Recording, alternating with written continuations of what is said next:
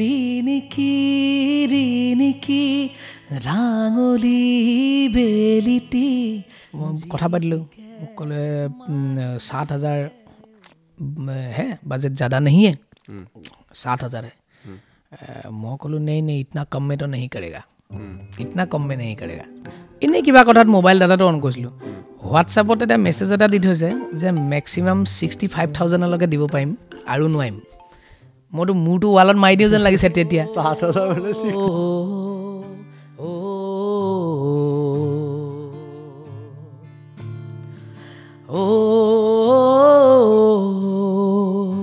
তেতিয়া তাই কৈছে সেই তুমি এনেকৈ ফোন দিছা নেকি কিন্তু পগলা নেকি তাইৰ বেলেগ এটা বয়ফ্ৰেণ্ড আছে নহয় তোমাৰ লগত এনেহে কথা পাতি থাকে বোলে তোমাৰ দেখো নাম পত্ৰ লেখা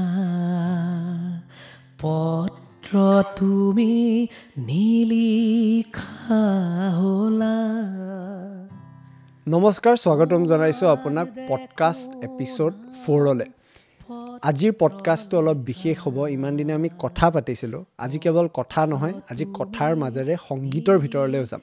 আজি আমাৰ লগত আছে অসমৰ এজন শিল্পী। তেওঁ আচলতে এটা গান মাজুলীৰ পৰা অহা গান এটা গৈ আজি বম্বে গৈ পালে। এই পডকাষ্টটো শেষলৈ চাব।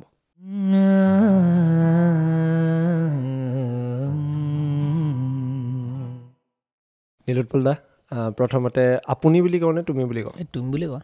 কেনেকুৱা লাগিছে? ভাল লাগিছে। তোমালোকৰ বস্তুবিলাক মই সদায় চাই থাকোঁ। দ্য ট্ৰুথ মাজতে এবাৰ এটা পেকেজ এটাও গৈছিলে ইণ্টাৰভিউ। তো তেনেকৈ আমি কানেক্ট হৈছিলোঁ। গতিকে মই চাই থাকোঁ খুব ভাল। মানে ছাত্ৰ ছাত্ৰীৰ মনৰ কথাবিলাক অঁ। ক'বৰ কাৰণে এটা প্লেটফৰ্ম গুৱাহাটী কেতিয়া আহিলা? গুৱাহাটী হ'ল মই পোন্ধৰ দিনমানৰ পৰা গুৱাহাটীতে আছোঁ। তাৰপিছত নেক্সট প্লেন কি চলি আছে? মোৰ কামৰ কথা মানে কি কি নতুন কি কাম আহিব? আহ, নতুন মানে মই এইকেইদিনটো কৰি আছোঁ এখন web series Yeh Meri Family season two season ওৱানটো নেটফ্লিক্সত আছে এতিয়া ছিজন টু কোনো এটা প্লেটফৰ্মত আহিব আৰু। তো তাৰ গান কৰি আছোঁ অকণমান ইয়ে মেৰি ফেমিলিখনটো নাইণ্টিজৰ ষ্টৰি দেখা দেখুৱাই। তো গতিকে সেইখনৰ গান গানৰ কাম কৰিছোঁ মই ইয়াৰ পৰাই কৰি আছোঁ। গুৱাহাটীৰ পৰা? অঁ আজিকালি টেকন'লজি ইমান ভাল ভাল টেকন'লজি আহিছে। সেইদিনা মই গীটাৰ ৰেকৰ্ডিং কৰিছোঁ ভকেল ৰেকৰ্ডিং কৰিছোঁ বম্বেত। আৰু মই ইয়াত ৰিয়েল টাইমত মই শুনি আছোঁ। মোৰ টকবেক টকবেকৰ ব্যৱস্থাও আছে। তো গতিকে তেনেকুৱা সুবিধা কিছুমান আহি গৈছে। গতিকে মোৰ মই য'তে যাওঁ মোৰ ট্ৰেভেল ছেটআপটো সদায় থাকেই। সৰু লেপটপত চাউণ্ড কাৰ্ডে টাউন কাৰ্ডে হেডফোন সৰু ইমান অকণমানি কীবৰ্ড এখন। তো সেইবিলাক সদায় থাকে মই য'তে য'লৈকে যাওঁ অকণমানি ইমানকণ জেগা এটা পালেই হ'ল। তাতে মই সা সৰঞ্জাম লগাই লৈ মই কৰি পঠিয়াই দিওঁ। তো তেনেকুৱাকৈ চলি আছে কাম সেইখন চলি আছে আৰু ইয়াত মই এইকেইদিন কৰি আছোঁ এটা বিহু কৰি আছোঁ।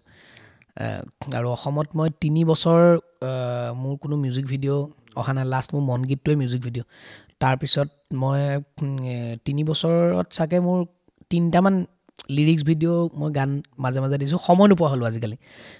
কাৰণ বম্বেত লাইফটো অকণমান হেক্টিকো হয়। প্লাছ খুব বেছি প্ৰফেচনেল হয়। গতিকে সময় সময় নেবাচে নিজৰ মনত কিবা এটা অহা চিন্তাক ৰাইজৰ মাজলৈ উলিয়াই দিবলৈ। তো সেইটো কেতিয়াবা বেয়াও লাগে সেইটো কাৰণে কেতিয়াবা খং উঠে নিজৰ। যে আগতে মন গ'লে অসমীয়া গান এটা লিখিছিলোঁ। মন গ'লে গান এটা কৰি ৰাইজৰ ওচৰলৈ ৰাইজক উপহাৰ দিছিলোঁ। আজিকালি কৰিবলৈ সময় নাইকিয়া হ'ল। ক'ৰবাত প্ৰগ্ৰেম এটাৰ কাৰণে ফোন কৰে। প্ৰগ্ৰেমটো আহি পেলাই তিনিদিন আহি অসমত ফ্লাইটত এদিন আহি এদিন শ্ব' কৰি নেক্সট দিনা উভতি গৈ তিনিদিন এটা গে কামৰ পৰা গেপ দি প্ৰগ্ৰেম এটা কৰিবলৈ অসমলৈ আহিবলৈ সময় নাথাকে। তো সেইবিলাক কাৰণে মোৰ তিনি বছৰমান অসমৰ লগত অকণমান কানেকশ্যন এটা নাইকিয়া নিচিনা। তো গতিকে মই কাৰণ দুখন চিনেমা লৈ থৈছিলোঁ মানে চাৰিখনমান ৱেব ছিৰিজ এইবিলাক চব এতিয়া শেষ হৈছে লাহে লাহে। আকৌ নতুন ষ্টাৰ্ট হ'ব। এতিয়া গতিকে এই ডিচেম্বৰ জানুৱাৰী মই প্ৰায় অসম অলপ অসমত আছোঁ। আৰু অসমত ঠাণ্ডা দিনকেইটাত অসমত থাকি ভালো লাগে। গুৱাহাটীৰ নতুন পৰি পৰিৱৰ্তন দেখিছানে গুৱাহাটীৰ? অঁ গুৱাহাটীখন মোৰ আজিকালি বিৰাট পজিটিভ লাগে। আৰু গুৱাহাটীখনেই নহয় মানে গোটেই অসমখনে আগৰ পৰাই সদায় ভাল লাগে। কিন্তু গুৱাহাটীখন মাজতে হয়তো ক'ভিডৰ কাৰণেই নে ক'ভিডৰ আচলতে ক'ভিডৰ আগৰ অলপ সময়ছোৱাত। আৰু এতিয়া আটাইতকৈ ভাল লগা কথাটো হৈছে যে নতুন জেনেৰেশ্যনৰ যিখিনি ল'ৰা ছোৱালী ইমান প্ৰত্যেকৰ মাজত মিল দেখা পাওঁ ইমান প্ৰত্যেকে ইমান ভাল কাম কৰি আছে। গতিকে সেই কামবিলাক চাই থাকোঁ আৰু কামবিলাক চাই থাকি পেলাই সেই ল'ৰা ছোৱালীবিলাকক লগ পাবলৈ মন যায়। তো গতিকে ইয়ালৈ আহিলে লগ পাওঁ আৰু প্ৰত্যেকৰ চিন্তাবিলাক ইমান ভাল আৰু কেতিয়াও আটাইতকৈ ভাল লগা কথাটো হৈছে যে এই গ্ৰুপ গ্ৰুপ ছিষ্টেমটো নাই আৰু এটা গ্ৰুপ বোলে ক'ৰবাত থাকে। অঁ এটা গ্ৰুপ ক'ৰবাত থাকে সিটোৱে বোলে সিটো গ্ৰুপৰ বদনাম গায়। সেই বস্তুটো মানে নাই নাই দেখা। মই আজিলৈকে কোনো পোৱা নাই মানে। তো গতিকে সেইটো খুব ভাল লগা হৈছে। আৰু যদি এটা ফেষ্টিভ ভাইব এটা আজিকালি গুৱাহাটীখনত যেতিয়া আহোঁ তেতিয়াই পোৱা যায়। ধুনীয়া ধুনীয়া লাইট জ্বলি থাকে আৰু ফ্লাইঅভাৰবিলাকত ধুনীয়া ধুনীয়া পেইণ্টিং তো গতিকে ইমান কালাৰফুল মানে আজিকালি। বিৰাট কালাৰফুল সেইটো কাৰণে আহি খুব ভাল লাগে। প্ৰথমতেতো শুভেচ্ছা থাকিল ৰিচেণ্ট যোনকেইটা গান কৰিছে চবকেইটাই হিটেই। মোৰ চবতকৈ ফেভৰেট আছিল তাজা খবৰৰ গানটো। বহুতে কয় এইটো বিৰাট আণ্ডাৰ ৰেটেড গান এটা। কিন্তু মানে মই সঁচাকৈ বিৰাট ধুনীয়া ফিল এটা পাইছিলোঁ। মই আৰম্ভ কৰাৰ আগত ৰিকুৱেষ্ট কৰিম তোমাক যে আমি কথাখিনি ডেপ্থত যোৱাৰ আগত তুমি যদি এবাৰ সেই গানটো ঠিক আছে। আণ্ডাৰ ৰেটেড মানে মোৰ মেক্সিমাম হিন্দী যিখিনি ৱেব ছিৰিজৰ গান কৰিছোঁ ধাগা বা ইস্কা হাফিজ কেইটামান গান বাদ দি প্ৰায় আণ্ডাৰ ৰেটেড কেলে আণ্ডাৰ ৰেটেড তাৰ ৰিজনটো হৈছে যে ৱেব ছিৰিজত যেনেকৈ চিনেমাত গানবিলাক প্ৰম'ট কৰে তেনেকৈ ৱেব ছিৰিজত বেলেগকৈ মিউজিক ৰিলিজ নহয় ৱেব ছিৰিজত গানবিলাক বেলেগকৈ প্ৰম'ট নহয়। তো গতিকে কিন্তু এইটো কথাত মই খুবেই লাকি ফিল কৰোঁ যে ইণ্ডিয়াত ৱেব ছিৰিজৰ গানত আটাইতকৈ হায়েষ্ট বুলি ক'ব ক'ব ক'লে ভুল হ'ব। প্ৰথম তিনি চাৰিজনৰ ভিতৰত মোৰো গান আছে। তো গতিকে ধাগা গানটো টেন মিলিয়ন মানে ওৱান ক্ৰ'ৰ অনলি স্পটিফাইড ইউটিউবতো আৰু আছে। ইউটিউবত আছে। ইউটিউবতো কিমানে কাভাৰ কৰিছে কিমানে আপলোড কৰি থৈছে আকৌ সেই এক্সপেৰিয়েণ্টৰ চিনটো তো গতিকে সেইটো খুব ভাল লগা কথা যে কোনো ধৰণৰ পুচ নোহোৱাকৈ কোনো ধৰণৰ এই গোটেই যিমানখিনি মোৰ আজিলৈকে মোৰ বাহিৰতো যিমানখিনি মোৰ গানৰ অনুৰাগী আছে গোটেইখিনি অৰ্গেনিক আৰু ৰিয়েল কেতিয়াও কিনা ভিউজ নাই কেতিয়াও একো নাই মানে। তো গতিকে সেইখিনি খুব ভাল লাগে আৰু প্ৰত্যেকৰ লগত মই খুব বেছিকৈ কানেক্টেড তো মোক তাজা খবৰ আজি ফ'ৰ্থ উইক চাগে হ'ল। এতিয়াও মানে এক নম্বৰ ট্ৰেণ্ডিঙত আছে মইতো প্ৰথম দিনা প্ৰথম ইয়াতে চাইছোঁ থেংক ইউ তুমি টুইটো কৈছিলা আমাৰ গাড়ীত মানে প্লে লিষ্টত এবাৰ গান এটা বাজি যোৱাৰ লগে লগে এক মাহ সেইটো গান থাকিবই ইহঁত বেয়া মাথা বেয়া হৈ যায় ইহঁতৰ যে এই নাই কি সেইটো হ'ল মোৰো বোলো। আছে চল ৰহি अच्छी खासी जिंदगी में फिर कहाँ से मोड़ आया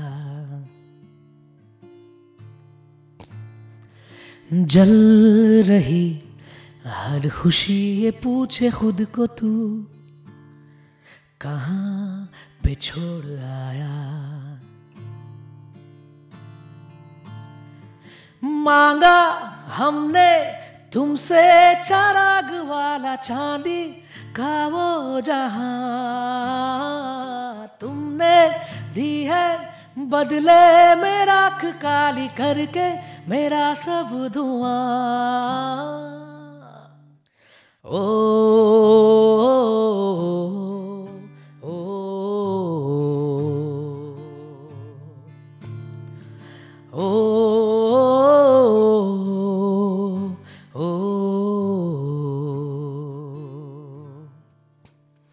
ইউ ছ' মাছ বহুত মোহন কানন দাই গাইছিলে গানটো অগ্নি বেণ্ডৰ ছিংগাৰ লিড ভকেলিষ্ট ভইচটো বহুত ধুনীয়া বহুত ধুনীয়া গাইছিলে তেওঁ এই গীতটো। আজি আচলতে আমাৰ প্ৰথম পডকাষ্ট এপিছড যোনটো আমি ৰাতিপুৱা শ্বুট কৰিছোঁ। চকুবিলাক ভালকে খোলা নাই। আৰু উঠিয়ে এইটো গান লাইভ শুনিব পাৰিছো। আৰু ভইচটো খোল খোৱা নাই কাৰণে আৰু- অকণমান মোৰ এটা বস্তুৰ ওপৰত বিৰাট কিউৰিয়চিটি থাকে। যেতিয়া গান এটা ধৰক ৱেব ছিৰিজ এখনৰ কাৰণে গান এটা বনাব লাগে সেই গানটোৰ চিনেমাৰ কাহিনীটোৰ লগত কিবা এটা লিংক থাকিব লাগে। তেতিয়া সেই ফিলটো গানটো যে এনেকুৱা ধৰণৰ হ'ব এজ এ কম্প'জাৰ বা যোনে লিৰিক্সটোৱে লিখে সেইটো কেনেকুৱা ধৰণে প্লেন কৰা হয়? মানে মই এই- ষ্টৰিটো বুলিয়ে নহয় এই ছিৰিজ বুলিয়ে নহয় ইয়াৰে আগৰ ধাগা গানটোৰ লগতো ৰিলেটেড হয়। তো এনেকুৱা কেনে ডিৰেক্টৰ্ছৰ পৰা কেনেকুৱা ধৰণৰ ৰিকুৱেষ্ট আহে বা কেনেকৈ আইডিয়াছবিলাক আহে? এইটো খুব ভাল প্ৰশ্ন। প্ৰথম কথাটো হৈছে ডিৰেক্টৰজনে কিমান ধুনীয়াকৈ ব্ৰিফটো দিব সিমানে ধুনীয়া গানটো বনিব। আৰু মই যিমানখিনি প্ৰজেক্টত কাম কৰিছোঁ আজিলৈকে বা যিখিনি মানুহৰ লগত মই কাম কৰোঁ তেওঁলোকে সদায় মোক প্ৰজেক্ট এটাত স্ক্ৰিপ্ট লিখাৰ সময়ৰ পৰা ইনভল্ভ কৰে। গতিকে সেই ইনভলভমেণ্টটো বহুত আগৰ পৰা এতিয়া ছমাহ পিছত আৰম্ভ হ'বলগীয়া প্ৰজেক্ট এটা ছমাহ আগৰ পৰা মই ইনভল্ভ হৈ থাকোঁ। স্ক্ৰিপ্ট গ্ৰুপত আহি থাকে। আৰু স্ক্ৰিপ্ট পঢ়ি থাকোঁ আমি। তো গতিকে যেতিয়া স্ক্ৰিপ্ট এখন পঢ়া যায় তোমাৰোতো মন যায় ন যে যেতিয়া তুমি ভাল গল্প এটা পঢ়া সেই গল্পটো চিনেমা বনাই দিবলৈ মন নাযায় জানো? তো গতিকে স্ক্ৰিপ্ট পঢ়ি পেলাই আমাৰো তেনেকুৱা এটা অনুভৱ আহে যে গান এটা কোনখিনিত কেন গানটো কেনেকুৱা গান এটা লাগিব সেই বস্তুটো লিখা থাকে। আৰু সেইমতে গান বনোৱা যায়। আৰু কেতিয়াবা এনেকুৱা হয় যে এটা ছিটুৱেশ্যনৰ কাৰণে চাৰিটা পাঁচটা গানো বনাব লগা হয়। চাই ইটো এইটো নাই যোৱা আকৌ সিটো নাই যোৱা আকৌ আকৌ বেলেগ এটা বনালোঁ। তেনেকুৱাকৈ কেইবাটাও গান বনাব লগা হয়। যাদুঘৰত তেনেকৈ চাগে এ, যাদুঘৰতটো পাঁচটা গান আছে। পাঁচটা গানৰ কাৰণে চাগে মই ফৰ্টি থ্ৰী ফৰ্টি টু মান গান বনাইছোঁ। অ, তাৰ পিছত এইকেইটা ওলাইছে? তাৰপিছত এইটো ওলায় তো আৰু সেইটো খুব ভাল আচলতে এইটো সেইটোৱেদি খুব শিকি বহুত কথা শিকিব পাৰি। আৰু বৰ্তমান সময়ত মানে এটা বস্তু হৈ গৈছে যে ৰিজেকশ্যনটো বন্ধ হৈ থাকিলে। আৰু সেইটো খুব দৰকাৰী বস্তু বুলি ভাবোঁ। এখন ইণ্ডাষ্ট্ৰীত। আৰু কাম এটা যেতিয়া ৰিজেক্ট হয় এইটো নাই হোৱা বুলি। তেতিয়া কেতিয়াও অফেণ্ডেড হ'ব নালাগে। এতিয়া মোক কোনোবাই কেতিয়াবা সোধে মই ইয়াত সেই বস্তুটো প্ৰায় দেখা পাওঁ। কোনোবাই কেতিয়াবা সোধে যে চিনেমাখন চালিনে আমাৰ? গানটো শুনিলিনে অনেষ্ট ৰিভিউ এটা দিলে অফেণ্ডেড হৈ যায়। তো সেই বস্তুটো খুবেই বেয়া আচলতে। আৰু আৰু চিনেমা এখন বা ৱেব ছিৰিজ এখন বম্বেত আৰম্ভ কৰি শেষ কৰাটো বহুত টান। প্ৰথমটো হৈছে কাম এটা পোৱাটোৱে বহুত টান। ইমান লাখ লাখ মানুহ আছে আৰু চবেই বহুত ভাল। গতিকে আৰু সেই তেনেকৈ তুমি যিটো ক'লা তেনেকৈ সেই ছবিখন আচলতে মনত নিজে আহে। সেই ছবিখন আহিবৰ বাবে কোনো এলগৰিথম নাই। তো গতিকে সেইটো আৰু এটা কথা তাতে আৰু এটা আৰু এটা এক্সপিৰিয়েঞ্চৰো কথা আছে। যে মই মোক অসমত ৰাইজে চিনি পাইছে দুহেজাৰ সোতৰৰ পৰা মাজুলী গানটোৰ পৰা। মাজুলীৰ পৰা। উম। মই কাম কৰি আছোঁ দুহেজাৰ ছয়ৰ পৰা। মোৰ প্ৰথম যিটো গান মই যোৰহাটত থাকোঁতে প্ৰথম যিটো কম্প'জিশ্যন সেই কম্প'জিশ্যনটো মোৰ জুবিন দাই গাইছিলে। এটা বিহুসুৰীয়া গীত আছিলে। এইটো কোনটো চনৰ কথা? দুহেজাৰ ছয়। তেতিয়াই? অঁ তো মই ক্লাছ এইট মানৰ পৰা কম্প'জিশ্যন কৰোঁ। আৰু তেতিয়া সেই গানটো জুবিন দাই গাইছিলে আৰু সেইটো মোৰ জীৱনৰ প্ৰথম গান। আৰু মই জুবিন দাকো মই তেনেকৈ লগ পাইছিলোঁ মই ক্লাছ প্ৰথম আৰম্ভণিয়ে জুবিন গাৰ্গৰ লগত আৰম্ভণিয়ে জুবিন গাৰ্গৰ লগত আৰু জুবিন গাৰ্গৰ বৈদ্য ফেন মই তেতিয়া। তো গতিকে সেই দুহেজাৰ ছয়ৰ পৰা তাৰপিছত মই দুহেজাৰ আঠত গুৱাহাটীলৈ আহিলোঁ। গুৱাহাটীলৈ অহাৰ পিছত প্ৰথম এখন থিয়েটাৰৰ এটা গান কৰিবলৈ পাইছিলোঁ। মই ডি জি মিউজিকত প্ৰায় বহি থাকোঁ যেতিয়া জুবিন দাহঁতে বা পলাশ গগৈ অনিৰুদ্ধ বৰুৱা যিকেইজন অসমৰ ভাল ভাল মিউজিক ডিৰেক্টৰ আছে যেতিয়া কাম কৰে মই পিছফালে বহি চাই থাকোঁ। আৰু চাই খুব ভাল লাগে মই চাই চাই চাই চাই শিকি আছোঁ। এতিয়াও গধূলি ওলাই যাওঁ কোনোবা এজন মিউজিক ডিৰেক্টৰ বা মিউজিক প্ৰডিউচাৰ ষ্টুডিঅ'ত কাম কৰে পিছ সেই পিছফালে বহি মই খুব ভাল পাওঁ। তো গতিকে সেইটো এতিয়াও আছে আৰু আগলৈও থাকিব সদায়। আৰু গতিকে সেই তেতিয়া তাৰপিছত দুহেজাৰ নত চাগে মই প্ৰথম এটা থিয়েটাৰৰ গান কৰিবলৈ পালোঁ ৰাজেশ ভূঞাৰ লগত। তেতিয়া সেই গানটো মাধুৰীমা চৌধুৰী এখন থিয়েটাৰত আছিলে। তেওঁলোকৰে থিয়েটাৰ আছিলে ৰাজমহল থিয়েটাৰ।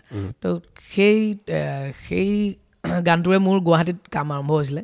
আৰু তাৰপিছত কোনোবাই এলবাম বা চি ডি টি ডি উলিয়ালে কোনোবাই গান খোজে মই কম্প'জ কৰোঁ মই দিওঁ লিখি পেলাই দিওঁ তেনেকুৱা আছিলে। আৰু চিৰিয়েল এখন কৰিবলৈ পালোঁ প্ৰথম অনুৰাধা বুলি। অঁ। অনুৰাধাখনৰ পিছৰ এপিছ'ডখিনি মই কৰিবলৈ পাইছিলোঁ ত্ৰিছটামান পিছৰ এপিছ'ড বেকগ্ৰাউণ্ড মিউজিক কৰিবলৈ। আৰু তেতিয়া মই একো নাজানোৱে। কিন্তু দেৱদা ৰাজেশ দাহঁতে অনুৰাগৰ কথা মই ক'ব লাগিব। তো গতিকে প্ৰত্যেকে বিশ্বাসত মানে দিছিলে কৰিবলৈ। আৰু তেতিয়া মই বেকগ্ৰাউণ্ড মিউজিক কি মই ভালকৈ নাজানো একো আইডিয়াই নাই। কিন্তু প্ৰত্যেকে বিৰাট ৰাজেশ দাৰ পৰা বহুত বহুত শিকিছোঁ। গতিকে তেনেকুৱাকৈ আৰম্ভ হৈছিল তাৰপিছত ইখনৰ পিছত সিখন জোনাকৰ বৰষুণ অধিকাৰ সেইবিলাক বেলেগ বেলেগ চিৰিয়েল পাঁচখনমান চিৰিয়েল কৰিলোঁ দূৰদৰ্শনৰ কিবা কিবি কৰিলোঁ। তো বিভিন্ন চিৰিয়েল মই কেইবাখনো কৰিলোঁ সাতখনমান চাগে কৰিলোঁ নি? চিৰিয়েলৰ গান বনালোঁ কেইবাটাও চেনেলৰ কাৰণে। বেহৰবাৰী আউটপোষ্টৰ গানটো মই বনোৱা। তো সেইবিলাক তেতিয়া কৰা দুহেজাৰ বাৰত কৰিছিলোঁ বেহ- বেহৰবাৰী আউটপোষ্টৰ গান। আৰু তেতিয়া তাৰপিছত চিনেমাৰ বেকগ্ৰাউণ্ড মিউজিক কৰিছিলোঁ কেইখনমান। গানৰ এৰেঞ্জমেণ্ট কৰিছিলোঁ। জুবিন দাৰ লগতো কিবা কিবি তেওঁৰ এলবামৰ গান চান এৰেঞ্জ কৰিবলৈ মোক দিয়ে তাৰপিছত কৰোঁ। তো তেনেকুৱাকৈ কাম কৰি আছিলোঁ কৰি আছিলোঁ কৰি আছিলোঁ। সেই দুহেজাৰ বাৰত মই এবছৰ গপছপ ৰেডিঅ'ত চাকৰি কৰিছিলোঁ চাগে তুমি নাজানা? অঁ তোমাৰ দেউতাই জানে দেউতাই মোৰ গোটেই জাৰ্ণিটো দেখিছে প্ৰায় দেখিছে আৰু। গতিকে দুহেজাৰ বাৰত মই চাকৰি কৰিছিলোঁ। মই এ আই হোষ্টেলৰ পৰা ওলোৱাৰ পিছত এবছৰ চাকৰি কৰিছোঁ। চাকৰি কৰি মই মুম্বাই গ'লোঁ দুহেজাৰ বাৰত মোৰ এখন হোষ্টেলত মই কিছুমান গান কৰি কৰি আছিলোঁ হোষ্টেলত থাকোঁতে। তাৰ পৰা কেইটামান গান চিলেক্ট কৰি পেলাই মই এলবাম এখন কৰিলোঁ। ছেভেন আনপ্লাগ সেইখন মোৰ জীৱনৰ জীৱনৰ প্ৰথম প্ৰথম এলবাম চ'ল' এলবাম সেইখন মই নিজে মিউজিক কৰিলোঁ নিজে গালোঁ নিজে লিখা দুটা গান আছে বাকী শান্তনু সমীৰ দা তেওঁলোকে লিখিছিলে মানস মহন্ত। তেনেকুৱাকৈ সেই এলবামখন ওলালে। সেইখন ওলোৱাৰ পিছত দুহেজাৰ বাৰত এবাৰ মুম্বাইলৈ গৈছিলোঁ। সেই তাৰে ৰেকৰ্ডিং কৰিবৰ কাৰণে। গৈ খুব ভাল লাগিলে। তাৰপিছত আহি পেলাই এলবামখন ৰিলিজ দিয়াৰ কেইমাহমান পিছতে মই এদিন হঠাতে ট্ৰেইনত টিকেট কাটি মই মুম্বাই গুচি গ'লোঁ। কি কৰিম মই একো নাজানো। তেনেকুৱাকৈ গুচি গ'লোঁ। মানুহে এনেই মুম্বাইলৈ ডাঙৰ কিবা সপোন লৈ যায় কিবা লৈ যায়। মই এনেকুৱা একো সপোন লৈ যোৱা নাছিলোঁ। কি কৰিম নিজে একো নাজানো একো বিচাৰি নাপাই গুচি গৈছিলোঁ। আৰু আৰু মই খুব আড্ডা প্ৰিয় মানুহ তাত গৈ দেখিলোঁ গোটেই মালাডত লগৰ মানে যিমানবিলাক বন্ধু আছে এই তাহাঁতৰ বিৰাট জমি থাকে আৰু। বোলো নাই এই সেই বস্তুটো দেখোন ইয়াত নাই।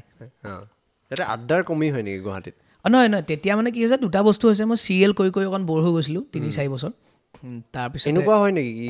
এটা কাম কৰি গ'লে মনোটনাছ লাগি গ'লে কৰিব মন নোযোৱা হৈ যায় আকৌ। অঁ সেইটো হয় সেইটোতো হয় কিন্তু কামবিলাক কেনেকুৱা ধৰণৰ আহি আছে সেইটোৰ ওপৰতো ডিপেণ্ড কৰে।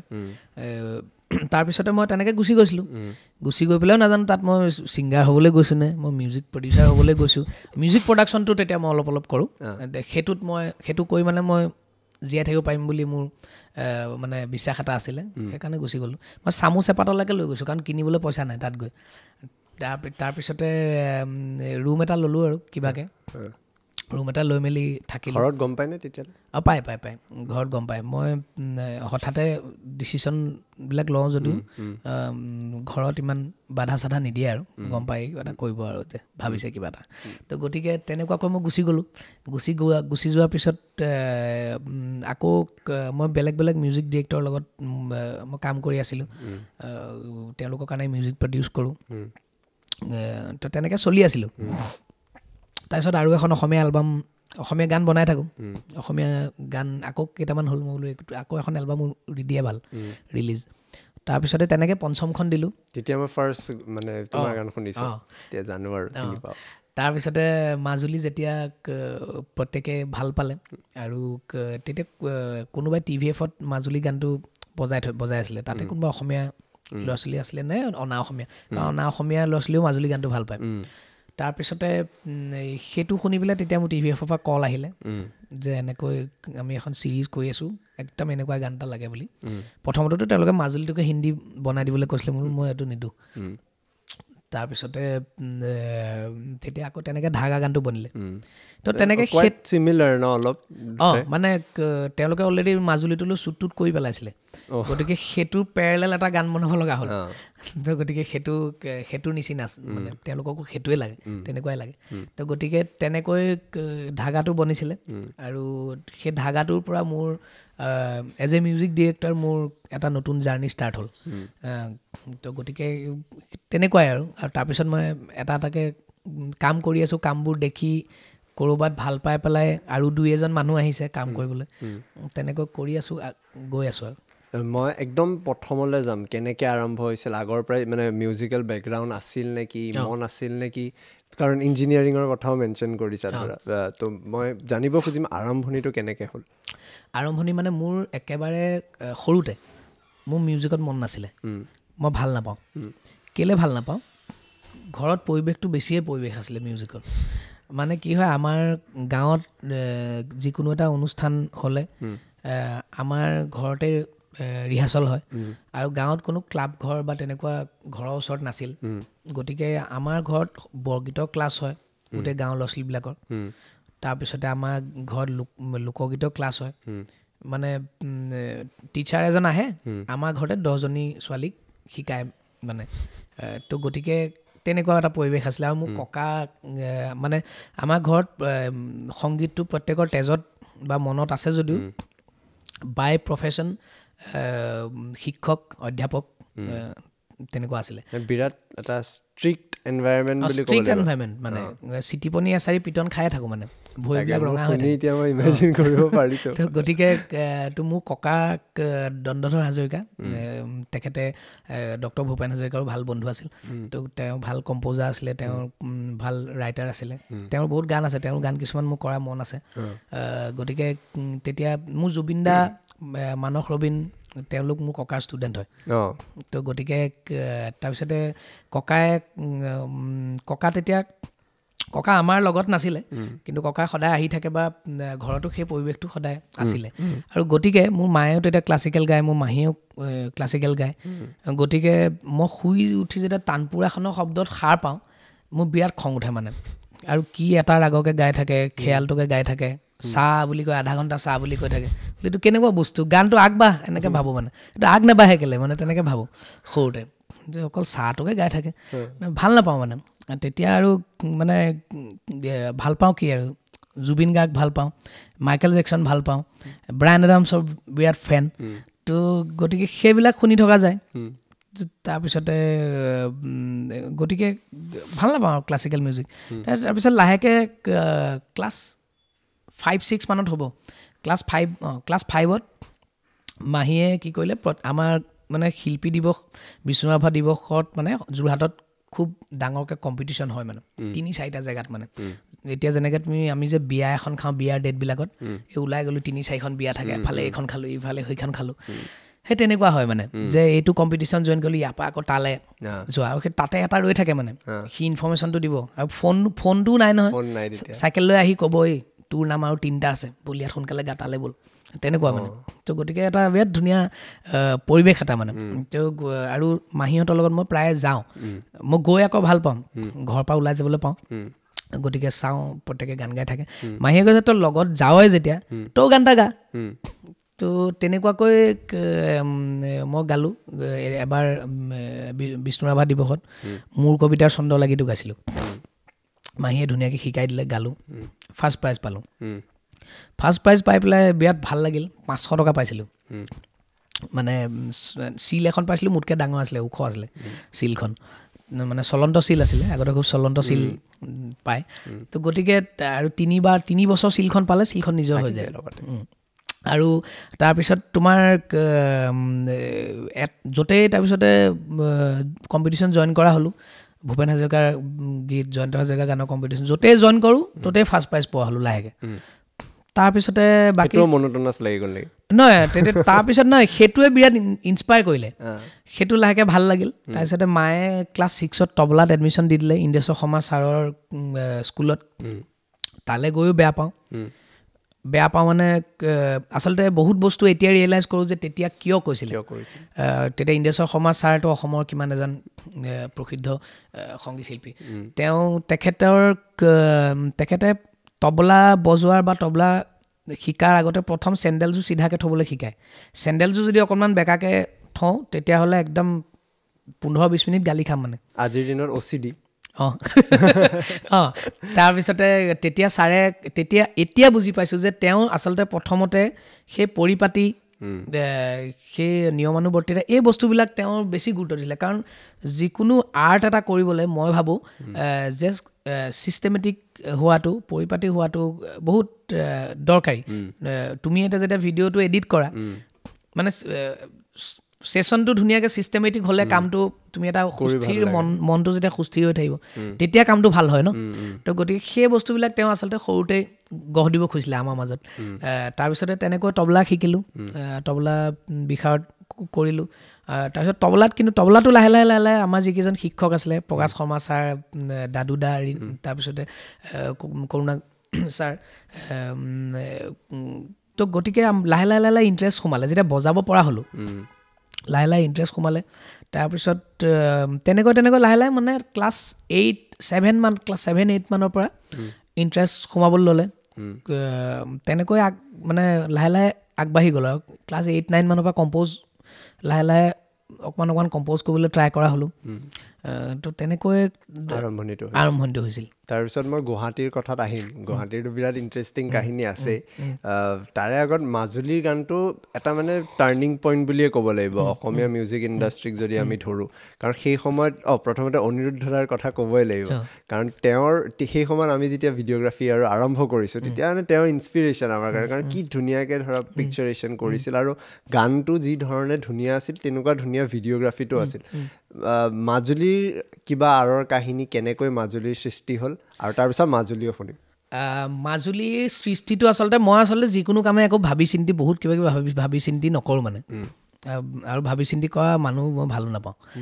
বহুত ভাবি দিয়ে যে। তো গতিকে মোৰ সদায় স্পণ্টেনিয়াছে হয় গোটেই বস্তু মানে গোটেই কাম কামটো বা কাম কৰা প্ৰচেছটো। গতিকে তোমাৰ মাজুলী গানটো এদিন তেনেকৈ সুৰ এটা কৰিছিলোঁ সুৰ এটা মনত আহিছিলে কৰিছিলোঁ। সেইকেইদিনতে মানে মাজুলী জিলা হৈছিলে। জিলা হোৱাৰ কাৰণে ক'ৰবাত মানে অকণমান দুখো লাগিছিলে যে মাজুলীখন আমাৰ যোৰহাটৰ বুলি কওঁ। এতিয়া জিলা হৈ গ'ল। অঁ তাৰপিছতে শান্তনু ৰৌমৰীয়া মোৰ বন্ধু। শান্তনুৰ লগত মানে কথা পাতি আছিলোঁ যে মাজুলীখন এতিয়া জিলা হ'ল কি হ'ব নহ'ব ভাল হৈছে নে বেয়া হৈছে সেইবিলাক আমি কথা পাতি আছিলোঁ যে। দুয়োটাই কথা পাতি আছিলোঁ তাৰ আগদিনা তাক মই গানটো পঠিয়াইছিলোঁ। অঁ নহয় নহয় নহয় তাক মই সেইদিনা গানটো পঠিয়াইছিলোঁ। গানটো পঠিওৱাৰ পঠিওৱাৰ পিছত গানটোৰ কথা পাতিবলৈ ফোন কৰি পেলাই আমি মাজুলী জিলা হোৱাৰ কথা পাতি আছিলোঁ। যে জিলা হ'ল কি কি মানে ৰাইজৰ কি কি ভাল হ'ব কি কি ক্ষেত্ৰত বেয়া হ'ব কি কথা এইবিলাক আমি দুটাই নিজৰ নিজৰ থটছবিলাক শ্বেয়াৰ কৰি আছিলোঁ। তাৰপিছতে লাষ্টত আহিলে বোলো "অ' আচল কথাটো নাপাতিলোৱে নহয়। গানটো কি কৰা যায়? বোলো তুমি লিখি পেলাই দিবা আৰু তুমি ভালকৈ শুনিবা গানটো। বোলো শুনি পেলাই তুমি ক'বা। কৈছে গানটো শুনিলোঁ বিৰাট ভাল লাগিছে। কৈছে এটা কাম কৰোঁ আমি যে মাজুলীৰ ওপৰত কথাখিনি পাতি আছোঁ মাজুলীৰ ওপৰতে গানটো কৰোঁ নেকি? মই বোলো "অঁ, বঢ়িয়া। তাৰপিছতে আমি কথা পাতিলোঁ যে কি কৰিলে ভাল হয়। তাৰপৰা কনভাৰ্চেশ্যনটো অকণমান বেলেগ হ'ল আৰু। তেনেকৈ লাষ্টত তাৰ নেক্সট দিনাৰ নেক্সট দিনাই শান্তনুৱে গানটো লিখি পঠিয়ালে। তেনেকৈ মাজুলী গানটো হৈছিলে। লিৰিক্সখিনি যেতিয়া আহিলে তাত লিৰিক্সখিনি অহাৰ পিছত খোলৰ দৰকাৰ হ'ল। মানে ষ্ট্ৰক ইনষ্ট্ৰুমেণ্ট দৰকাৰ হ'ল ভাল। সেই এটা ৱৰ্ল্ড মিউজিকৰ চাউণ্ড দিবৰ কাৰণে। আৰু ক'ৰবাত ৱৰ্ল্ড মিউজিকৰ চাউণ্ডটো মই সদায় এইটো বস্তু সদায় গুৰুত্ব দিওঁ বা মই সেই কথাটো ভাবোঁ যে আমি যে চাউথ ইণ্ডিয়াৰ গান এটা শুনো লেংগুৱেজটো বুজি নোপোৱাকৈ। আমাৰ গান এটা বাহিৰত কেনেকৈ শুনিব পাৰে? বা আমাৰ অসমীয়া মিউজিকটো কেনেকৈ গোটেই পৃথিৱীত শুনিব পাৰে? তাৰ কাৰণে মেইন বস্তু কথাটো হৈছে মিউজিক প্ৰডাকশ্যনৰ এপ্ৰ'চটো তো গতিকে সেইটো আমাৰ যেতিয়া মানে ৱৰ্ল্ড ষ্টেণ্ডাৰ্ড এটা বা ৱৰ্ল্ড মিউজিকৰ এটা এপ্ৰ'চ এটা থাকিব তেতিয়াহ'লে মানে অসম নালাগে ভাৰত নালাগে গোটেই পৃথিৱীতে সেই মিউজিকটো শুনিব মানে। এটা মানে নিজৰ যোনটো আইডেণ্টিটি গান এটাত থাকিব লাগে। অঁ নিজৰ আইডেণ্টিটি এতিয়া মই এটা মানে জমনি কাহিনী এটা কওঁ দেই। মাজুলী আমি শ্বুটিং কৰি থকা সময়ৰ কাহিনী এইটো। তোমাৰ যিহেতু নামটো আনটল্ড প্ৰগ্ৰেমটোৰ। তো গতিকে এবাৰ কি হ'ল আমি সেই ভাওনাৰে আখৰা যে তাৰ যিটো শ্বট আমি পৰ্দা এখন দি আমি লাইট দি সেই বস্তুটো কৰিছিলোঁ। আমি এখন মিচিং গাঁৱত কৰিছিলোঁ সেই শ্বুটিংটো তেতিয়া মানে কি হ'ল আমি ম- অনিৰুদ্ধ দা মই আৰু এজন সৰু ভাইটি এজন সি কেমেৰাটো অকণ ধৰি মেলি দিয়ে আমি তিনিটা মানুহ গৈ এসপ্তাহ থাকি ভিডিঅ'টো শ্বুট কৰিছিলোঁ। কোনো ক্ৰু নাই একো নাই। অঁ একো আৰু একোৱে বেলেগ একোৱে নাই। কোনো নাই। আমি গৈ এসপ্তাহ আছোঁ ৰিজৰ্ট এটাত থাকি পেলাই আমি ৰাতিপুৱা মানে আন্ধাৰ হৈ থাকোঁতেই আমি ওলাই যাওঁ। যি পাওঁ কেমেৰাত ধৰি থ'ম আৰু। তেনেকুৱা। তো গতিকে আমি তেনেকৈ ভিডিঅ'টো শ্বুট কৰিছিলোঁ আৰু সি এবাৰ মানে কি হ'ল গধূলি সময় তাৰপিছতে শ্বুটিংটো হৈ গ'ল।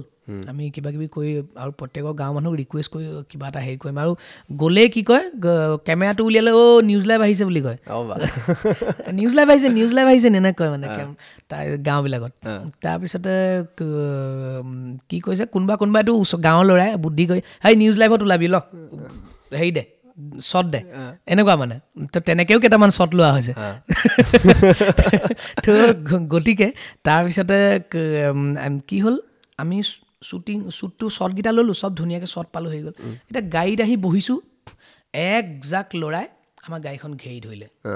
ঘেৰি ধৰি পেলাই কৈছে পইচা দিব লাগিব আমাৰ ইয়াত শ্বুটিং কৰিছোঁ। মই বোলো চেছ তাৰপিছতে কেইটকামান পইচা আছিলে বেছি পইচাও নাই। মই মই তাৰপিছতে বোলো কি কৰিম কি নকৰিম? তাৰপিছতে ভাবিছোঁ অনিৰুদ্ধ দায়ো অকণমান নাৰ্ভাছ কৰিছে ঐ পইচা দিব নোৱাৰিলে মাৰে খাম নেকি ইয়াত? মই বোলো ৰচোন ৰ কিবা এটা হ'ব। তাৰপিছতে মই কিমান দিব লাগিব বুলি সুধিবলৈ লৈছোঁ মানে ড্ৰাইভিং ছিটটোৰ পৰা নামি পেলাই। বিছ টকা দিব লাগিব বুলি কৈছে। বোলো ৱা এইটো কেনেকুৱা কথা? তাৰপিছতে পঞ্চাছ টকা দি দিলোঁ খোজ একদম। মানে তাৰপিছতে একদম পূৰা হুলস্থুল মানে আৰু পঞ্চাছ টকাত মানে আৰু মানে পঞ্চাছ টকাত মানে বহুত মানে চাইমত পাব মানে। গতিকে মানে গাঁৱৰ তেওঁলোকৰ গাঁৱৰে ধৰা কোনোবা এঘৰত বনিছে আৰু। পঞ্চাছ টকাটো দি দিব আৰু তাৰপিছতে গোটেই পোন্ধৰ বিছটা ল'ৰাই খাব আৰু মানে। সেইটো ফূৰ্তি মানে ইমান ইন'চেণ্ট মানে। তো আমি কেনেকৈ ভাবিছিলোঁ আচলতে তেওঁলোক তেওঁলোক কেনেকুৱা? অঁ কণ্ট্ৰাষ্টটো নিজৰে গিল্টি ফিল হৈছে মানে। বোলো বা ইমানে কেনে কেনেকুৱা ইন'চেঞ্চ মানে। আমাৰ অসমীয়া মানুহ কিমান ইন'চেণ্ট গতিকে সেইটো এটা আমাৰ আমাৰ কাৰণে বিৰাট মানে হাঁহি উঠা লগতে আৱেগিকো সেই মমেণ্টটো ধুনীয়া। আমি মাজুলী গানটো এবাৰ শুনিম. কফিটো খাই ল'ব পাৰে একো নাই নাই কফি খাই আছোঁ। হট কফি আৰু ক'ল্ড কফি দুটা একেলগে খাম আৰু। ৰিণিকি ৰিণিকি ৰাঙলী বেলিটি জিলিকে মাজুলীতে জেঠৰে জুৰুলা খাওনে খহুৱা বুকুতে বনগীত হৈ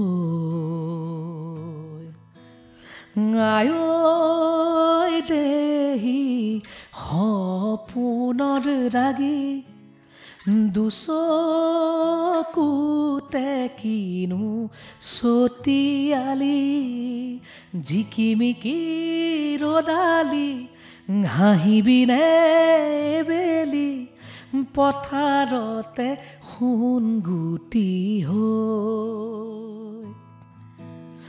বাৰিষাৰে গধূলি থাকিবনে এইবেলি নদীখনি মনে মনে শুই? ৰাতিপুৱা যে ভইচটো অকণমান চেপা খাই আছে খোল খোৱা নাই। একো নাই নতুন এক্সপিৰিয়েঞ্চ আমিতো ভবাই নাছিলোঁ ৰাতিপুৱা শুই উঠি। নাই মোৰো ৰিয়াজ হৈ গৈছে। ধুনীয়া ভাল লাগিল। কিন্তু মানে এই গানটো সঁচাই ভাল লাগে আৰু সেইটো কাৰণে এটা. পপুলাৰ হোৱাৰ ৰিজন এটা এটা বিৰাট ইণ্টাৰেষ্টিং কাহিনী মনত পৰিল। তোমাৰ মুম্বাইৰ দিনৰ আৰম্ভণিৰ দিনৰ নেকি। সাত হাজাৰটো লৈ কিবা এটা কাহিনী আচ্ছা। সেইটো মানে কি হৈছিলে ঘটনাটো? দুহেজাৰ তেৰত যেতিয়া মই প্ৰথম মুম্বাই গৈছোঁ তেতিয়া কাম বিচাৰি আছোঁতো আৰু যি কামেই পাওঁ কৰিম আৰু।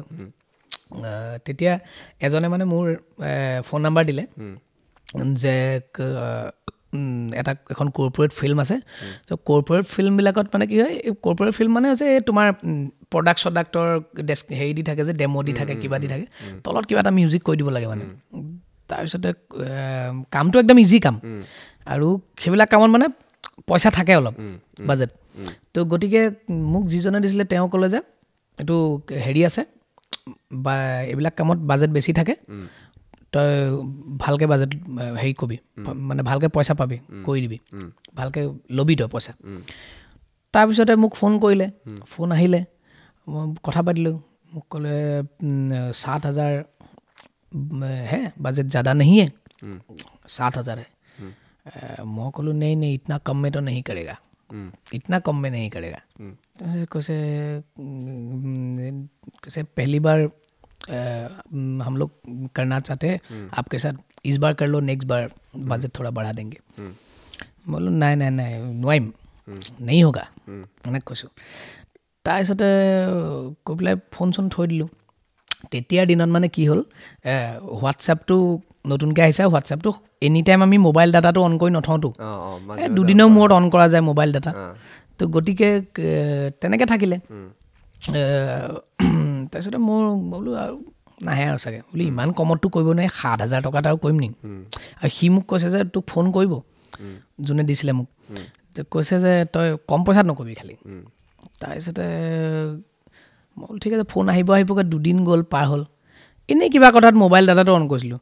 হোৱাটছএপত এতিয়া মেছেজ এটা দি থৈছে যে মেক্সিমাম ছিক্সটি ফাইভ থাউজেণ্ডলৈকে দিব পাৰিম আৰু নোৱাৰিম। মইতো মোৰতো ৱালত মাৰি দিওঁ যেন লাগিছে তেতিয়া। যে এহেজাৰ টকা এহেজাৰ টকা এটা নাথাকে হাতত। ষাঠি হেজাৰ টকা এটা যদি সেই টাইমত পাই গ'লোহেঁতেন ৱৰ্ল্ড ট'ৰ মই কৰাৰ কথা ভাবিলোহেঁতেন মানে। মই মোক ক'লে সাত হাজাৰ। মই ভাবিলোঁ সাত হাজাৰ সাত হাজাৰ। সাত আৰু সাতৰ মাজত যে মানে এটা ডাঙৰ ডিফাৰেঞ্চ সেইটো মানে গম নাপালোঁ মানে। মই সাত হাজাৰ শুনিলোঁ মানে। নাই জুবিন গাৰ্গ ইনভল্ভ নাই। জুবিন গাৰ্গ সেইদিনা গধ- গধূলি আহিছে। মই মানে মোৰ একদম মাথা বেয়া হৈ আছে মানে খং উঠি আছে সেইদিনা জুবিন দা আহি ওলালেহি মানে গধূলি। কি হ'ল? তই ইমান খং তোৰ কি হ'ল? মানে তেতিয়া জু- জুবিন দা আহিছে তেতিয়া কৈছে মই বোলো নাই বোলো আজি এনেকুৱা এটা ঘটনা হ'ল। জুবিন দা হাঁহিছে আকৌ মোক উলিয়াই লৈ গৈছে মাথা গৰম হৈ আছে কাৰণে। মই গুৱাহাটীৰ কথালৈ আহিছোঁ কলেজৰ দিনৰ গুৱাহাটী নহয় গুৱাহাটী। মানে কি? গুৱাহাটী। গুৱাহাটী। আমি কওঁতে কওঁতে গুৱাহাটী হৈ যায়। গুৱাহাটী অঁ ভাল লাগিল। তাৰপিছত অঁ তাৰে মই কাহিনীলৈ আহিছোঁ কলেজৰ দিনৰ আনটল ষ্টৰী যদি কিবা আছে। কলেজৰ দিনৰ আনটল ষ্টৰী বহুত কিবা কিবি আছে। খালি এতিয়া অন কেমেৰা বহুত বস্তু ক'বলৈ হ'লে ষ্টাৰ্ট আৰম্ভণিৰ পৰা শেষলৈ তুমি বিপ লগাই দিব লাগিব। তো গতিকে মই এটা কাহিনী কওঁ এইখিনিতে মনলৈ আহিছে। সকলোৱে চিনি পায় আমাৰ অৰূপজ্যোতি বৰুৱা কাল্টিভেটৰ্ছ বেণ্ডৰ ভকেলিষ্ট কম্প'জাৰ তো অৰূপ দাৰ ক- এটা ক- অৰূপ দাৰ লগত এটা বিৰাট জমনি ষ্টৰী আছে। মই এক নম্বৰ হোষ্টেলত থাকোঁ এ আইত তাৰপিছত অৰূপ দা প্ৰায়ে যায় আমি একেলগে গানৰ কাম কৰোঁ। এইটো দুহেজাৰ ন চন ন দহ মানৰ কথা হ'ব। অৰূপ দা আহ, তেতিয়া অৰূপ দাৰ চুলি দীঘল আছিলে।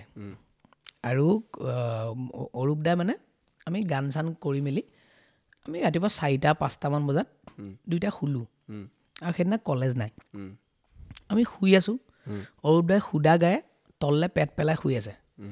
চুলি এনেকৈ কাৰ্লি দীঘল। গোটেই চুলিখিনি এনেকৈ পিছফালে পৰি আছে পিঠিত।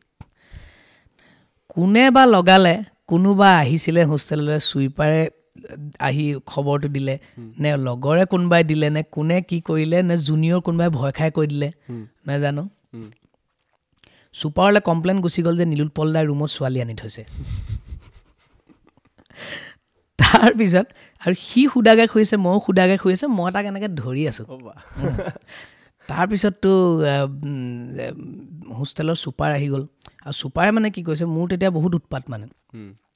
বহুত উৎপাত মানে কিন্তু হাতালতে ধৰিব পৰা নাই। মোক এক্সপেল কৰিব পৰা নাই মানে। তো গতিকে তেতিয়া মানে কি হ'ল চুপাৰে চুপাৰ ছাৰে মানে তেতিয়া লগত আৰু তিনি চাৰিজনমান লৈ মানে মোক হাতলিটো ধৰিব আৰু আজি। ধৰিব আৰু মোক এক্সপেল কৰিব। আহিলে। অহাৰ পিছত অৰূপ দা শুই আছে। আহিলে ময়ো শুই আছোঁ ময়ো গম নাপাম। হুলস্থুল কৰি দিছে। কোন ছোৱালী আনি ৰাখিছ তই?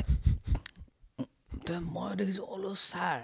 তাৰপিছতে কৈছে তাৰপিছত অৰূপ দা কোন ছোৱালী? কোন ছোৱালী? এনেকৈ সুধিছে। তো অৰূপ দাই এনেকৈ অৰূপ দাই উঠিলে এনেকৈ। এনেকৈ চাইছে।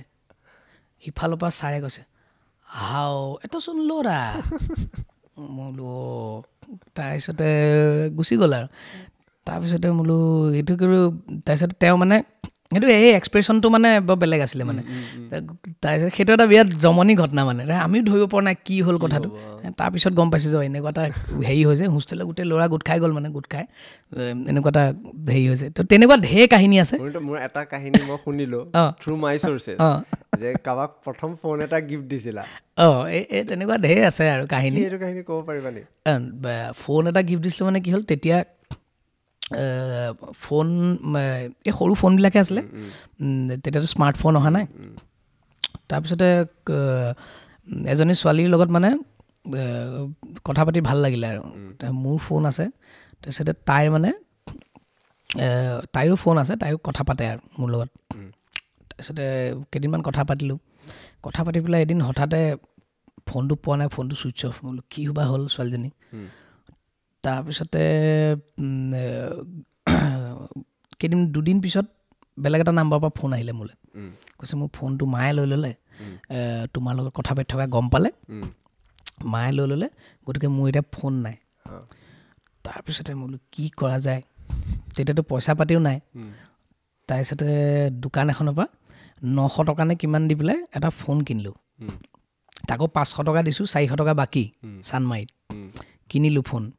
নিজৰ নামত চিম উলিয়ালোঁ চিম উলিয়াই পেলাই ফোনটো দি থৈ গৈছোঁ। তাৰপিছতো ফোনটো সদায় ৱেইটিং হৈ থাকে ৰাতি। মই বোলো এইটো কি ঘটনা? এতিয়া মোৰ লগত কথা নাপাতে মোৰ পৰা ফোন এটা ল'লে। তাৰপিছতে ৰাতি ৱেইটিং হৈ থাকে ৱেইটিং হৈ থাকে। তাৰপিছতে যিটো নাম্বাৰৰ পৰা মোলৈ ফোন কৰিছিলে সেইটো নাম্বাৰত ফোন কৰিলোঁ। তেতিয়া তাই কৈছে হেই তুমি এনেকৈ ফোন দিছা নেকি? কিন্তু পগলা নেকি? তাইৰ বেলেগ এটা বয়ফ্ৰেণ্ড আছে নহয় তোমাৰ লগত এনেহে কথা পাতি থাকে বোলে অঁ, এইটো কি হাৰ্ট ব্ৰেক আছে নেকি ফোনো গ'ল। তাৰপিছতে তাৰপিছতে মই বোলো এতিয়াতো চিমখনতো মোৰ নামত আছে। তাই সেই লগৰজনীয়ে বুদ্ধি কৰি যেনিবা চিমটো আনি পেলাই দিলে আৰু। ফোনটো কিন্তু থাকি গ'ল। ফোনটো থাকি গ'ল আৰু। এইটো এইকেইটাহে আনটল ষ্টৰী বঢ়িয়া। আচলতে এনেকুৱা কাহিনীবিলাকে মনত পৰে। মই অলপ ইন ডেপ যাম। আমি অলপ ধেমালি কৰিলোঁ। কিন্তু মই যদি তোমাক সুধোঁ জীৱন জীৱন বুলি সুধিলে কি ক'ব খুজিবা? জীৱন মানে কি তোমাৰ কাৰণে? জীৱন আৰু প্ৰেম। এই দুটা বস্তুৰ ডেফিনেশ্যন প্ৰত্যেকৰ কাৰণে বেলেগ বেলেগ আৰু প্ৰত্যেকৰে ফিলচফিটো বেলেগ জীৱন লৈ জীৱনটো আচলতে ক- ময়ো নাজানো আৰু মই ভাবোঁ যে জীৱনটো কি যিদিনাই বুজি পোৱা যাব সেইদিনাখনৰ পৰা জীৱনটো বৰ। মানে সেই বুজি পাই থকা প্ৰচেছটোৱে আচলতে জীৱনক জীৱন বনায়। অঁ সেইটোৱে বুলি মই ভাবোঁ। আৰু জীৱনটো সেয়া মানুহৰ জন্ম হোৱাৰ পৰা মৃত্যু হোৱালৈকে প্ৰত্যেকৰ যিটো জাৰ্ণি সেইটোৱে জীৱন আৰু চাগে। আৰু যিদিনাই জীৱনটোৰ সেই গোটেই মায়া মোহৰ পৰা আৰম্ভ কৰি সেই গোটেই বস্তুবিলাক নাইকিয়া হৈ পেলাই যেতিয়া এটা জীৱনটো কি আচলতে যিদিনা সেই আনচাৰটো পোৱা যাব কোনোবাই যদি আনচাৰটো পাইছে তেওঁ চাগে তাৰ পিছৰ সময়খিনি জীৱনৰ বিৰাট বৰ হৈছে। মোৰ তেনেকুৱা লাগে। আৰু লাইফ লৈ পেলাই মোৰ চিন্তাটো তেনেকুৱা ধৰণৰ। আৰু যদি মই সুধোঁ পইচা? পইচাটো মানুহক লাগে। বৰ্তমান সময়ততো লাগেই। আৰু পইচাটো খালি এনেকুৱা নহয় মই বহুত পইচাৰ পিছত দৌৰি থকা মানুহ নহয়। বা পইচা এনেকৈ ধৰি থকা মানুহো নহয় মই বিৰাট খৰচী মানুহ। আৰু পইচা বোলা বস্তুটো মানে মানুহৰ নিজৰ যিখিনি প্ৰয়োজন সেই প্ৰয়োজনখিনি পূৰাবৰ কাৰণে আৰু এটা লাইফষ্টাইলটো যিয়ে যেনেকৈ বিচাৰে সেই হিচাপত মানুহক পইচাৰ দৰকাৰ আৰু বহুত ধনী হ'ব লাগিব কিবা হ'ব লাগিব তেনেকুৱা বুলি নহয়। পইচাটো মানুহক ভালকৈ জীয়াই থাকিবৰ কাৰণে মানুহক যথেষ্টখিনি হ'লে হ'ল আৰু অঁ মানে ভাল. পইচা লাগে। আৰু খালি এটাই কথা মই ভাবোঁ যে মানুহে যিখিনি জীৱনত পায় বা যিখিনি পইচাই হওক বা ছাকচেছেই হওক সেই যিখিনি পায় সেই পোৱা বস্তুখিনিক লৈ সদায় থেংকফুল হ'ব লাগে। আৰু নোপোৱাখিনিক লৈ বেছি চিন্তা কৰি থাকিব নালাগে মানে।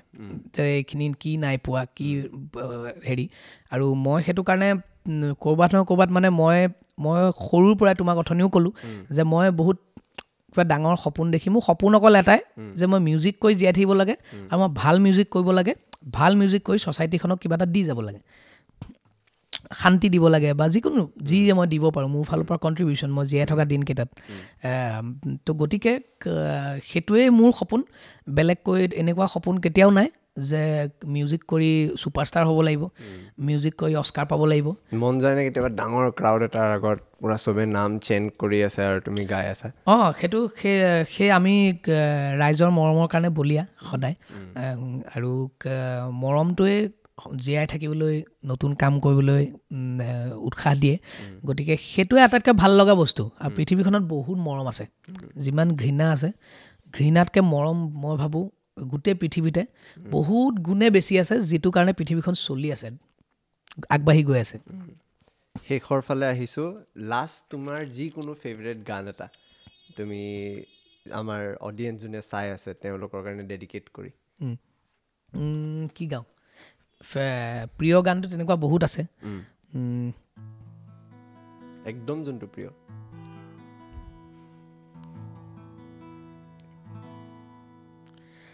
উম,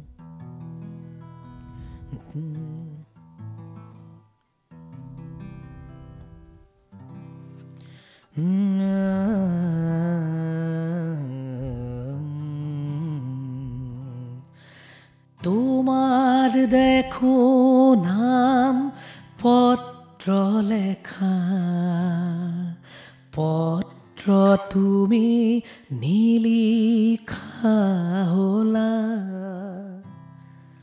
তোমার দেখো নাম পত্র লেখা পত্র তুমি নিলিখা হলা। হয়তো মোৰ পুৰ নাথি কণা তোমাৰ মনত নাই। হয়তো মোৰ পুৰণা ঠিকনা তোমাৰ মনত নাই। ধুনীয়া। বহুত প্ৰিয় গান আছে হঠাৎ এইটোৱে মনলৈ আহিল। আৰু এটা মোৰ লাষ্ট ৰিকুৱেষ্ট এইটো মানে মোৰ লাইভ শুনিব বিৰাট মন আছিল ধাগা। অঁ ঠিক আছে। লাষ্ট লাষ্ট লাষ্ট কৈ শেষে আজি আমি এটা ইউটিউব লাইভহে কৰিব পাৰিলোহেঁতেন ন? অঁ ইউটিউব মানে আমাৰ ইমান ডাঙৰ অডিয়েঞ্চ নাই। ডাঙৰ- যোনদিনাখন ডাঙৰ হ'ব। নাই অডিয়েঞ্চ সেইদিনাখন এইটো মানে কি ডাঙৰ অডিয়েঞ্চ মানে যদি তোমাৰ ধৰি লোৱা পাঁচজন অডিয়েঞ্চ আছে। এজন অডিয়েঞ্চে বহুত ডাঙৰ গতিকে পাঁচজন অডিয়েঞ্চে পাঁচ লাখ অডিয়েঞ্চৰ সমান হোৱাটো চবতকৈ সেইটো হয়। কিন্তু আমি মানে বিচাৰোঁ তোমাৰ যোনটো এক্সক্লুচিভিটি। সেইটো আমি আৰু অলপ ডাঙৰ কৰি পেলাই মানে এইটো সেইটোৱে ন প্ৰমোশ্যন এতিয়া নেক্সট ডাঙৰ হ'ব। তাৰপিছত লাইভ একদম মোৰ বহুত শুভেচ্ছা থাকিল. একদম মই বহুত আগৰ পৰা তোমালোকৰ কাম ফ'ল' কৰি আছোঁ। মানে দ্য ট্ৰুথৰ পৰা আৰম্ভ কৰি বাকী তুমি খুব ভাল এডিটিং কৰা সেইখিনিও জানো শুনি আহিছোঁ যে গতিকে এ, উম, কামবিলাক আৰু আজি ইনফেক্ট আমি ফাৰ্ষ্ট টাইম লগো পাইছোঁ অঁ আমি আজি লগো প্ৰথমবাৰৰ কাৰণে পাইছোঁ আৰু গতিকে খুব ভাল হওক আৰু খুব উম, এ, ভালকৈ কৰি যোৱা Thank আমি উম, যি পাৰোঁ সদায় একেলগে কৰিম চিয়'ৰ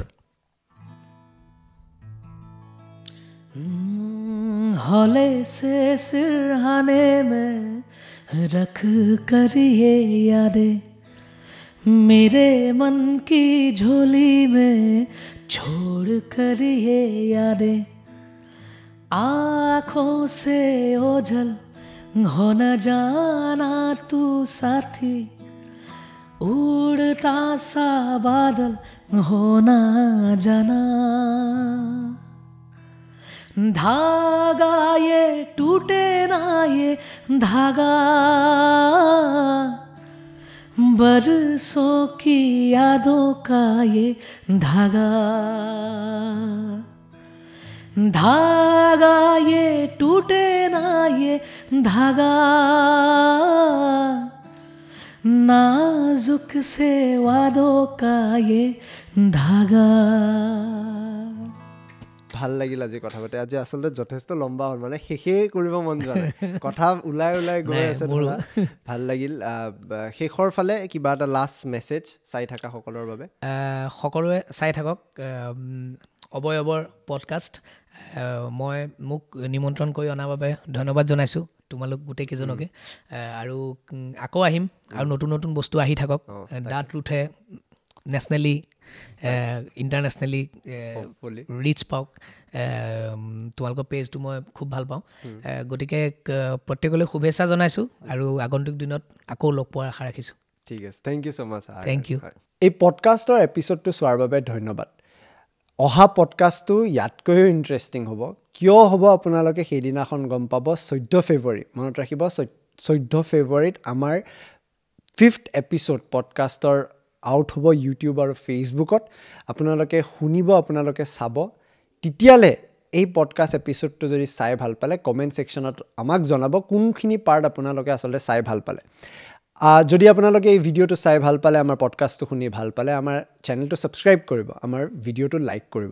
কাৰণ যেতিয়া আপুনি আমাৰ চেনেলটো ছাবস্ক্ৰাইব কৰে ভিডিঅ'টো লাইক কৰে আমি উৎসাহ পাওঁ অলপ কষ্ট কৰি আৰু অলপ ভাল কণ্টেণ্টছ আপোনালোকৰ আগত আনিবলৈ। এই ভিডিঅ'টো চোৱাৰ বাবে এই পডকাষ্টটো শুনাৰ বাবে नाजुक से वादों का ये धागा।